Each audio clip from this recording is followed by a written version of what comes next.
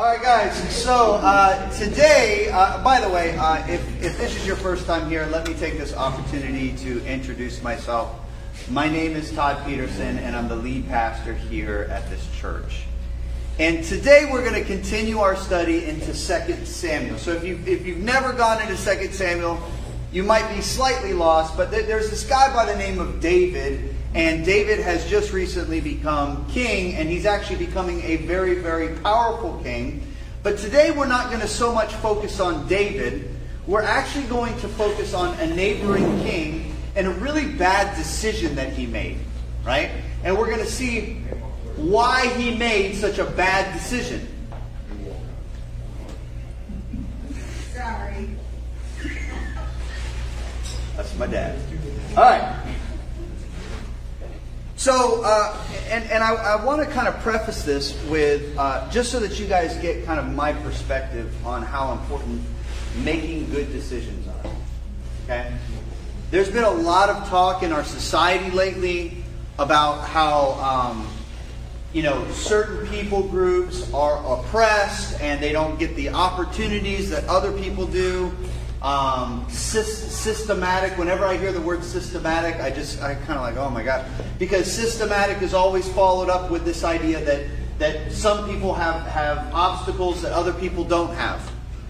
And and I'm going to be honest with you, it's it's as if this is like a new revelation in our society today that there that life isn't fair. But the funny thing is, when I was when I was raised, my parents reminded me repeatedly, life isn't fair right? Wesley and I and Clay and, and Luke, we would get into fights, and then we would, and then we'd be like, "Hey, Leslie's being treated better than I did." And you know what my mom and my dad would say? Life isn't fair. Deal with it, right? And so the problem that I have with our society today is that yes, life isn't fair. Yes, we need to fix things. But telling people that the reason why your life is a mess is because of everybody else isn't helping them. Now, I've been a pastor for about 19 years, or over 19 years at this point. Before then, I was a counselor. Uh, I'm also a business owner, and I'm a landlord. And what all of those things mean is I am intimately involved in the lives of other people. And I'm telling you that the principle that I've noticed is that the greatest thing that affects your life is your own decisions. Whether good things have happened to you or bad things have happened to you, the thing that's going to affect your life the most is the decisions that you make. And so, if I, as a pastor, want to help you, or if I want to help somebody, the best thing that I can do is help somebody to learn how to make good decisions. Because people who tend to have a pretty decent life are usually in the habit of making good decisions right? And if something bad happens to them, which it, it can, if it doesn't kill them, usually their life will get worse for a little while, but then they'll make some really good decisions, and then they have a tendency to make life even better than it was before the bad thing happened. Whereas, if you're in the habit of making bad decisions in your life, right? I don't care what good thing happens to you, you're going to mess it up, right? I have seen people who have made, uh, I mean, how many stories have we seen of people who have won the lottery, literally won millions of dollars, and then two years later are worse off than they were before? And money is one of these. If you only have a little bit of money, you can't make that many bad decisions before you have to change, right? But when you got a lot of money, you can make a lot of bad decisions for a long time before the consequences catch up to you. And so, what I want to do, what, what my goal is to help you do, is to learn how to make good decisions. And so, the question that I want us to ask today is what are the ingredients that make good decisions? What are the ingredients? Now, I'm not talking about follow through because once you make the decision, then you have to follow through, and that's a whole other you know conversation. But what are the ingredients to making good decisions? And in order to figure that out, we're going to actually look at how this king made a really bad decision. Uh, 2 Samuel chapter 10. Uh, now, I'm going to go ahead and, and, start with a map to kind of uh, let you know where we're at in the story here. Let me kind of come over here. Sorry about that, Gabe. I know I'm putting you to work. Oh no. All right, so this is Israel, right? This is uh, David is now king of Israel. Remember, uh, before he was king, he actually remember when he had to come and rescue his wives. Uh, he already uh, uh, conquered this area here, right? Then he, uh, when he became king, he marched into Jerusalem and made that his capital city. Then the, the, the Philistines came over, attacked him. Uh, he beat them back. Then he went back here, and then he went to their mother city, and now he's conquered this area, right? So now all of this area is at peace. Then he went to Moab. We talked about this a couple weeks ago. Remember when he uh, destroyed them, took uh, uh prisoners of war, and, and, and put to death two thirds of them? So they were at peace with him. And then, and then he went down to Edom. And remember, I talked to you about the garrisons. He replaced the garrisons to make sure that they were at peace as well. Then finally, um, and what I didn't cover, I kind of skipped over this part, but he actually went up into Syria. He went up into Syria and he uh, established peace up in Syria. Wait, back to this map. This place right here, Ammon, which this is the capital city, he didn't have to fight them because their king was cool with them. Right? And so up until now, he's got peace from all around him until uh, 2 Samuel chapter 10. So let's ride through that right now. Starting in verse 1, it says, After this, the king of the Ammonites dies. So the king dies, uh, the king's son becomes king. Verse 2, and David said, I will deal loyally with him. Uh, that's a big deal, right? Because Nahash means serpent. Okay, so it's the same word that's used for Genesis chapter 3 when the serpent messed everything up for Adam and Eve, right? So David was actually at peace with the serpent, but if for those of us, the king serpent, but for those of us who are um, who are good biblical uh, students, we should go, okay, something's going to go wrong here, especially with the son of the serpent, right? And David said, I will deal loyally with Hanun, son of Nahash, as his father dealt loyally with me. So David sent by his sent by his servants to console him concerning his father. And David's servants came into the land of the Ammonites. So he said, His dad was good to me. David's very powerful. He could have conquered them. He's like, but I just want peace. So he said, His dad was good to me. I'm going to be, I'm going to go send some people to, to make sure that he knows that we're still at peace and to send my condolences over the loss of his father. All good so far. Then we get to verse 3. But the princes of the Ammonites said to Hanun, their lord, Do you think because David has sent comforters to you that he is honoring your father? Has not David sent his servants to you to search the city and to spy it out? and to overthrow it. So this is the information that they bring to him. Now, the question that we need to ask is, is that good information or is that bad information? It's bad information, right? David really just wanted peace and he really sent these people to do, you know, something nice. But then these princes tell him, oh, these people must be spies. So he gets some bad information. And one of the things that I want you to think about is what was motivating the princes to give him that bad information? Was there a prince there that wanted him to have a problem with David so that maybe he could be king? Or maybe maybe they wanted to seem important in the king's eyes and so they, they gave him this information. Whatever, it was bad information. Now the question is, is what is he going to do with that bad information? Is he going to make a wise decision or a not wise decision? So in verse 4, so Hanun took David's servants and shaved off half of the beard of each and cut off their garments in the middle at their hips and sent them away. So uh, I'm going to give you guys a little um, cartoon image so that you guys can get an idea. That's what they look like. All right? So they shaved off half the beard. Now, why did they do that? They were humiliating. Back then, for, for, for those men, their beards were very, very important to them.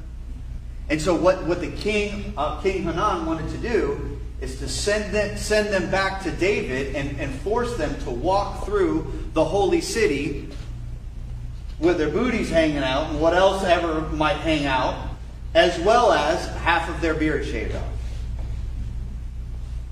And essentially, if you did that to the messengers, you were saying, I'm willing to do it to your king.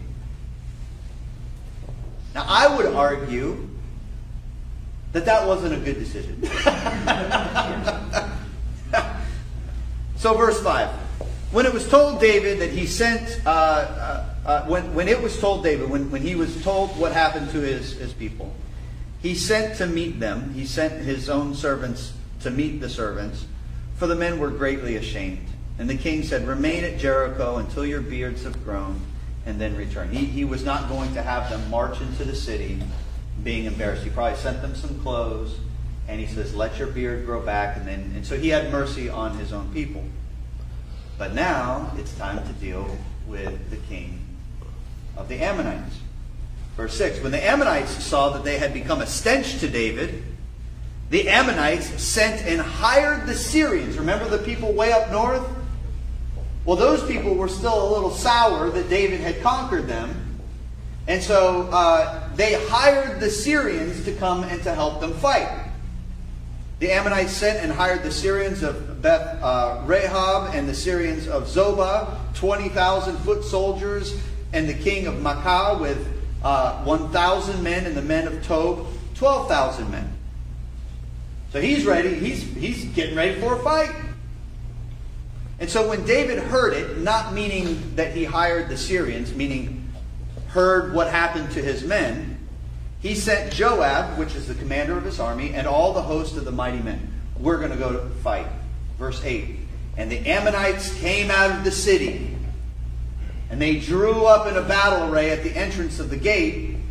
And the Syrians of Zobah and Rahab and the men of Tob and Maacah were by themselves in the open country. So go ahead and, and put up the that again. They came over here to the city and so the, the people from the city came out to fight, but then all of a sudden, all of these people come in behind them. So now they're sandwiched in. They've got the city and all those people willing to fight them on one side, and then they've got the Syrians coming in behind him. So Joab is now finding himself, and it was a, a brilliant uh, military move that they pulled. They didn't know who they were messing with. So, verse 9 When Joab saw that the battle was set against him, both in front and in the rear, he chose some of the best men of Israel and arrayed them against the Syrians.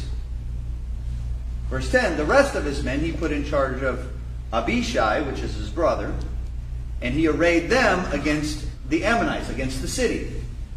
Now, why did he do that? Why did he take the best men and put them against the Syrians?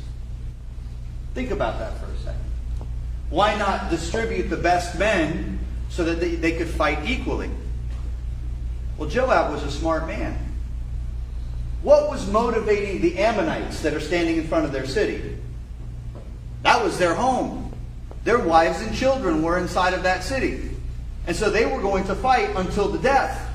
Right? But why were the Syrians there? Because they were paid. Right? And so, which one of those two people would be easier to break their morale? The people with the money, right? Because it's like, well, is this really worth the money? Eh, I don't think so, right? Joab's a, a genius. So, verse 11. And then he said, If the Syrians are too strong for me, he told to his brother, then you shall help me. But if the Ammonites are too strong for you, then I will come and help you. Verse 12 Be of good courage, and let us be courageous for our people, for the cities of our God, and may Yahweh do what seems good to him. Verse 12. Oh, I'm sorry, verse 13. So Joab and the people who were with him drew near to battle against the Syrians, and they fled before him. Now, why would they flee? Well, I want you to think about it. He put his best men on the front line. You don't typically do that. you let the people who you kind of want them to die off a little bit in the front line, and you keep your best men for later. But what he did is he put his best men out front, and so here the Syrians going, and then wave after wave they're getting decimated, and they're looking and it's like, oh, we haven't even gotten past the front line yet, and there's rows and rows of guys behind them. Like we're we're never going to win this thing. And so they were like, uh, I think we left the stove on and they noped out him, right? Not today, not today, right? So what happens to the people in front of the city when they see the backup leaving? Verse uh, 14, and when the Ammonites saw that the Syrians fled, they likewise fled before Abishai and entered the city. So they went back, they entered the city, locked the door. Then Joab returned from fighting against the Ammonites and came to Jerusalem. Now, now he conquered the Syrians, got them to run away. He got the other ones to run into the city. How come he didn't just take the city then? Well, he didn't know if the Syrians were coming back, right? Like, I, I, I need to get my army out of this precocious situation where we're in between, you know, two different armies. Like, let's get out of here. Let's regroup and rethink about this. What are we going to do now? Verse 15 But when the Syrians saw that they had been defeated by Israel, they gathered themselves together. Why did they gather themselves together? Well, they knew David's going to be mad at us. So, what does David have to do? If, if he wants to go attack the Ammonites, first he has to deal with the Syrians. So they start gathering together. Verse 16 their king, um, Hadadezer, sent and brought out the Syrians who were beyond the Euphrates. They came to Halam, which is a city we'll show you in a minute, with Shobach, the commander of the army of Hadadezer, at their head. So Shobach is their commander. Verse 17. And when it was told David, he gathered all Israel together, crossed the Jordan, came to Halam, and the Syrians arrayed themselves against David and fought with him. So map back up here. We see he came up here to Haram. He fought against them.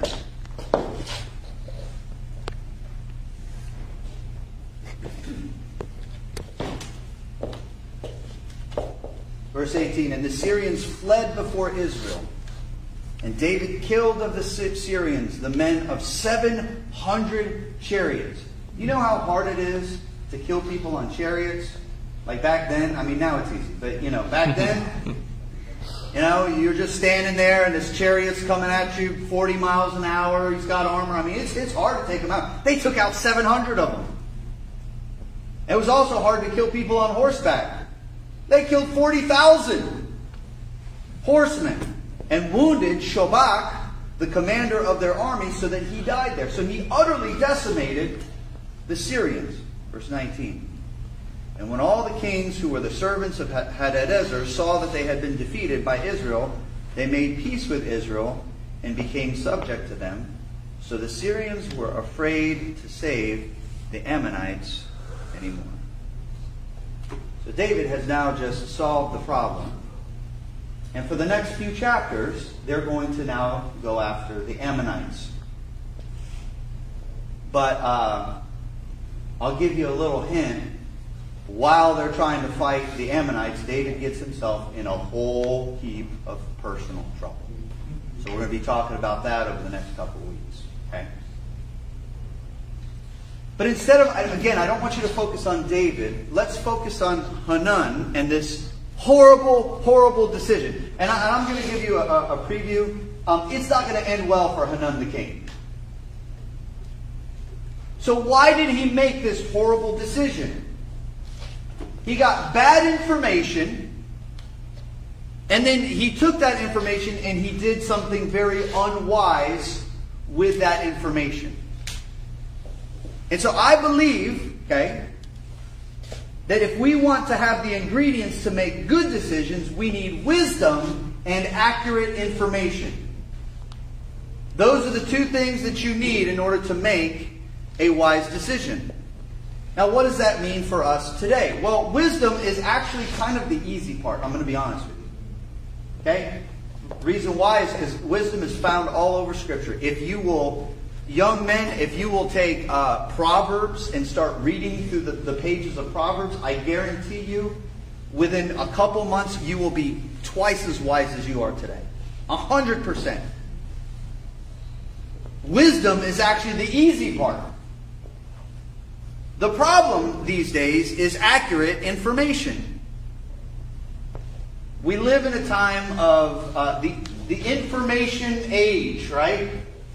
The problem that I've, I've realized over the last few years is that a lot of that information is false. Or it's half information. Why? Because people have a motivation in the information that they're sharing. I want you to think about I want you to think about the, the, the king. He had those princes that shared with him the information. What was their motivation for saying that David was here to spy out? And, and, I, and I don't know what the motivation was. But obviously, there was something wrong there. And, and maybe they believed it. I don't know, but there's something wrong there. And the king was too lazy to figure out if that was accurate information or not. Now, once he had that information, then I think he made a very unwise decision. Even if you believe that David was sending spies there, was really the wise thing to do to humiliate them and to send them back to David? Or was the more wise thing to say, hey, uh, uh, yeah, we're going to send you guys back to David. Let him know that I want to have a meeting with him. I mean, that, that probably would have been the wise thing. But at the end of the day, he had inaccurate information, and he had and he did not deal with wisdom. And so the thing that I want you to do is I want you to start looking at all information in your life, and I want you to be suspicious. And ask the question, what is the motivation behind the people that are sharing with me this information? I'm going to, for instance, MSNBC and CNN are catering to the Democrat, people who, who typically vote Democrat. Okay? And what are they doing? They are giving them information to make them mad.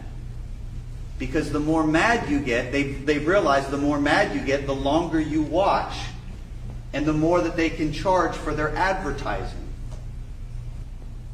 Fox News is designed for the Republicans.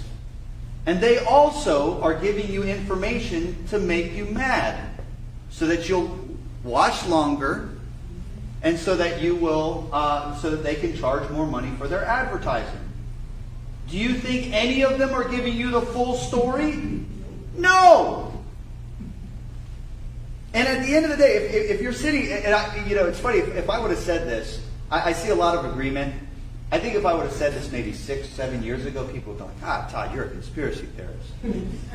but now, now, if there's anybody in here who still thinks I'm crazy for saying that, I have a clip that I want to show you that will change your mind.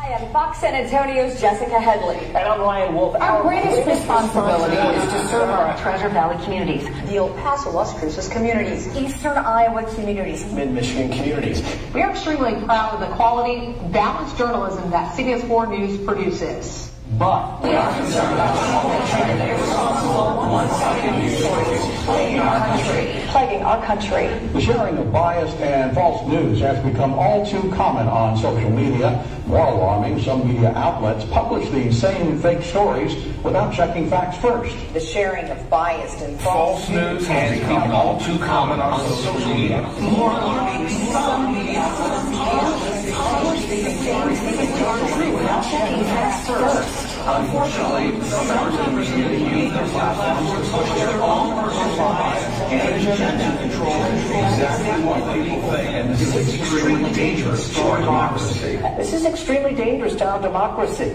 This is extremely dangerous to our democracy. This is extremely dangerous to our democracy. This is extremely dangerous to our democracy. This is extremely dangerous to our democracy. This is extremely dangerous to our democracy.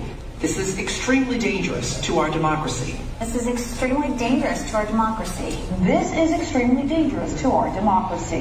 This is extremely dangerous to our democracy. This is extremely dangerous to our democracy. This is extremely dangerous to our democracy. This is extremely dangerous to our democracy. This is extremely dangerous to our democracy. This is extremely dangerous to our democracy. I kind of feel like saying, no, you're extremely dangerous to our democracy. And for those of us in here who are conservatives, they're like, yeah, it's a liberal media. That was actually a, a conservative media group.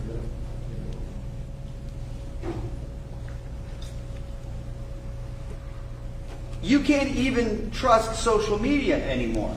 Like, you can't trust your Google searches because Google is throttling things that they don't want you to see and, and making sure, you know, to give you information that they want you to see. There's, there's all kinds of that stuff going on. Elon Musk, when he uh, uh, took over Twitter, actually released what's called the Twitter files, all kinds of emails, and come to find out the FBI has been telling Twitter what they are allowed to, to, to uh, promote and what they need to squash.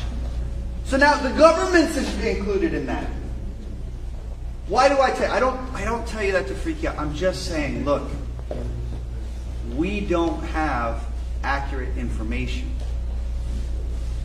You can get it, but you have to work for it. You can't, people don't just give it to you. Okay? So what does that mean for our, our daily lives? Well, Matthew chapter 10, verse 16 says this. You got it up? up? Uh, no. Did I not put it up there? It's, it should be the last uh, verse. Matthew 10 what? Matthew 10, right here. Yeah. Behold, Jesus says this to the disciples I am sending you out as sheep in the midst of wolves, so be as wise as serpents and as innocent as doves. Let me say that again. Be as wise as serpents and as innocent as doves. I think a lot of times as Christians, we get the innocent as doves thing, but the problem is, is that we don't realize that we are sent out like sheep before the slaughter. Jesus wants us to be wise as serpents, meaning we have to think like the people who are trying to manipulate us. But then instead of being manipulators ourselves, we need to be innocent. That's the challenge. Now, um, I'm going to be honest with you. Uh, making good decisions are really, really important in business, and I've learned this. There's a there's a, uh, a story that a young, aspiring businessman who's very smart uh, meets with an older, successful businessman, and he says, "Hey, I, I really want to have success in business. What's the secret to success in business?" And the uh, the wise old businessman said, "Learn to make good decisions." And so the man started to walk away, and then he said, "Wait, wait a minute. I have a follow-up question. How do you do that? How do you learn how to make good decisions?" He says, "By making bad decisions." right? And I can tell you that as a businessman myself, that's that's the truth. I've made a lot of bad decisions, and, and the bad decisions that I've made, it was either because I didn't use wisdom. So I've learned to use the wisdom from, from the pages of Scripture in every business decision that I make. But then the other part is getting accurate information. And let me tell you something, that's really hard. I've gone into meetings with what I thought was accurate information and come to find out it was just rumors, and I came out of that meeting with egg on my face and losing all kind of business. I think the more challenging thing as a businessman right now is asking the question, what's the market going to do? Because nobody knows. Like, I don't know what to do with my business in the future because it's so volatile right now. Accurate information is super important to making good decisions. So, what does that mean for everybody's life? The two greatest commodities in your life is your time and your heart. Be careful who you give your time to, and be careful who you give your heart to. And when I say time, um, I actually believe that time is money. I, I believe that that's a true statement. In that, the majority of us, when we go to work, we are trading time at work, and then they give us money, and then we take that money and we trade it for somebody else's time so that they can either grow us food or they can, you know, fix our car or what, whatever it is that we do with our money. I believe that time is actually money. So be careful who you give your money to. Because that represents time that you've already invested. The problem is, is that a lot of us use, we don't use wisdom when it comes to buying. We buy emotionally. For women, I don't worry, I'm going to get to the guys. I believe that if, if a business can get a woman to make this statement, then they are they have a 75% chance that, that that woman is going to purchase that item.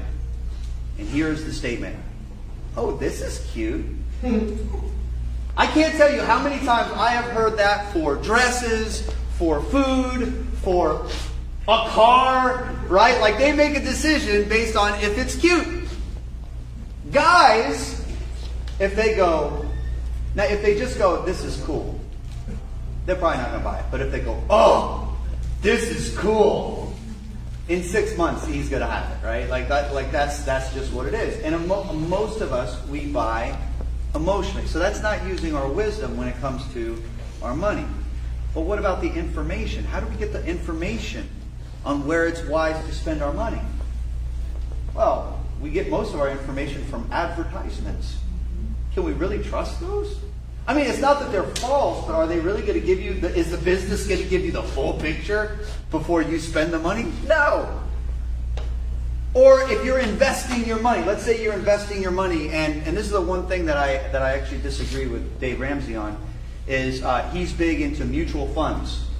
The problem with mutual funds is the guy who manages the mutual fund for you, he makes money whether you make money or whether you lose money. So is he is he really going to give you accurate information? You see what I'm saying? And finally, I think we need to also be careful where we give our money because nowadays businesses don't just do business for profit. There are a lot of businesses that are trying to accomplish other things with their business. And I will give you the least controversial. This is the one that everybody agrees on. Balenciaga is a clothing um, a, clothing designer. If you, if you if you haven't heard the story, you can look it up. But basically, they they started from openly promoting like pedophilia. I mean, it was just so you got to be careful who you give your money to. On the other side, uh, be careful who you give your heart to.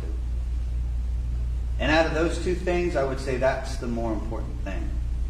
And I don't mean that just from a romantic point of view. I mean that in, in the friends that you keep. The greatest betrayal of my life was from a friend whom I gave my heart to. And you know what? He had some motivations behind the scene and he was giving me false information because he was trying to manipulate me.